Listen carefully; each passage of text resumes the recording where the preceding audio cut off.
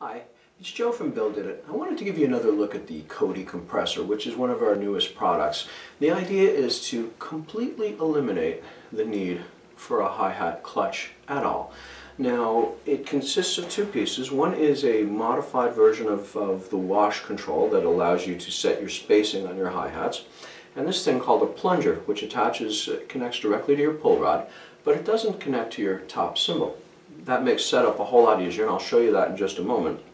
But the other thing it does is allows you to very accurately set where your hi-hats sit in the normal open position and lock that in.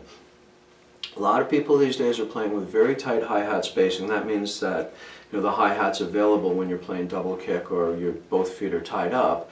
So the hi-hat is available as part of, your, uh, part of your kit. So that tight spacing makes a whole lot of sense. But it makes it really tough when you're using a regular clutch. So what we end up with as a result of having the Coady wash control, sorry, the Coady wash control in combination with the Coady compressor, is that you can set, using this, you can set exactly what your hi-hat spacing is going to be and then you use this to choke off the hi-hats instead of having to use a clutch. Setup's a whole lot easier.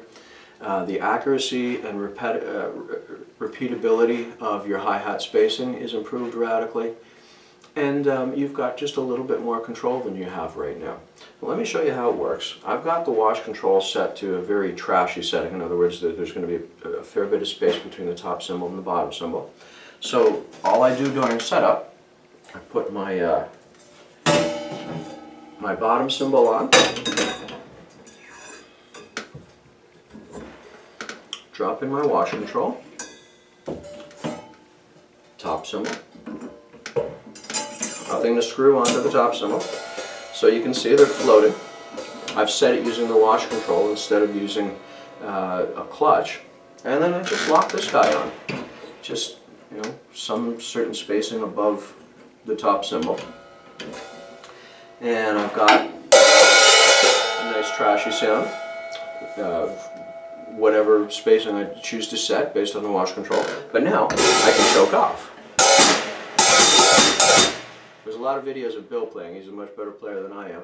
But uh, the point is that I've got the easiest hi-hat setup you can imagine. Plus I've got the ability to dial very carefully exactly what I want for my spacing on my hi-hats much simpler way to do things. Thank you.